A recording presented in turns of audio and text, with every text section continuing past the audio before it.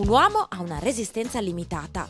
Prima o poi finisce con l'infrangere i giuramenti che si è fatto tatuare e con il fare cose che credeva inconcepibili, perché la fedeltà eterna non appartiene agli uomini, ma il tradimento sì. Jo Nesbø, master of a thriller, 40 million copy of books sold in the world. Harry is one of the most beloved characters. Uh, filmed, you did uh, a lot of jobs in your life, the football player, the rock star, and now you are a celebrity of books. What an amazing career. Um, well, it's, yeah, it's been good to me.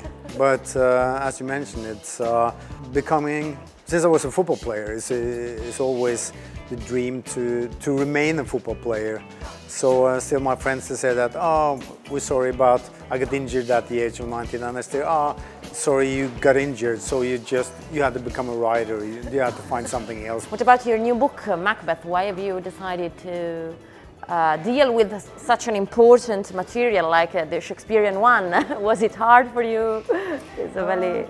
I saw Roman Polanski's Macbeth when I was uh, when I was really young, and so I was always intrigued by the Macbeth character. So I said, if I can have Macbeth, I'll uh, I'll do it. It was the difficult thing was, was how to how to do it. But as soon as I had made the first big decisions, for example, that I would set it in the 1970s, and the backdrop, what kind of uh, town this should be. And um, that struggle was, of course, not for the uh, throne of Scotland, but it was um, uh, about uh, being chief of police in this corrupted, uh, uh, poor and uh, polluted city run by drug cartels then it was quite easy. And uh, the Macbeth is the tragedy of ambition. Do you think that ambition is still uh, um, a sin of society, and what are the other the other evils of society nowadays? Do you think that ambition is one of the most important, or we have other ones like narcissism, for example? well, I think uh, in in Macbeth you maybe have a little of both. What we're seeing now is, of course, that uh, uh, the whole system of uh, democracy is being challenged. That uh, people uh, are looking for to, to have um, strong persons as their leaders and, and have a leader that they can follow uh, instead of leaders following their people. So um, I think right now it looks like we are, democracy has been on the progress since World War II. Um, seen from the outside right now, it seems like it's two steps back. Hopefully we'll go on forward again, but right now um, it doesn't look like they're good. What's your explanation? Uh, I don't know, fear? Uh... Um, hopefully it's, um, I mean, we, we're looking at the time span of 10 years. If you, if you look at, for example, um, uh, since I deal with people getting killed, if you look at people getting violently killed, either it's by in, in wars or in, uh, in uh, uh crime cases, the numbers are dropping and, and, and have been dropping for, uh, for many years.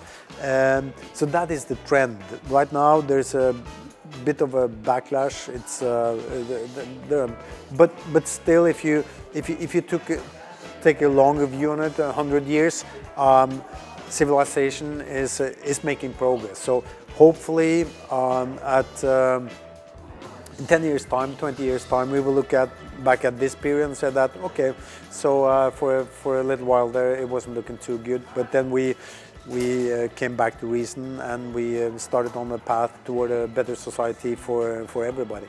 So you have a lot of hope. Uh, I do, I do. You have to have hope.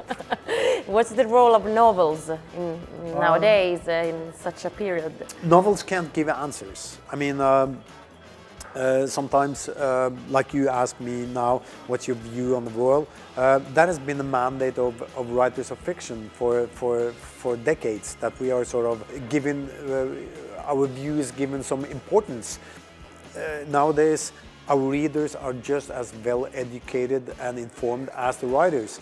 So it's not like when Charles Dickens wrote that he would be a man to, to, to look to when you were to, to describe society and criticize society.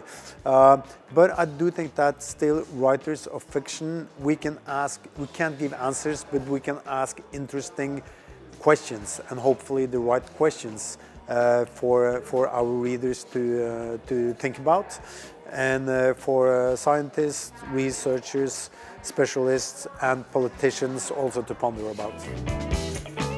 Thank you so much. Grazie mille. Thank you. Pop, shake, beat.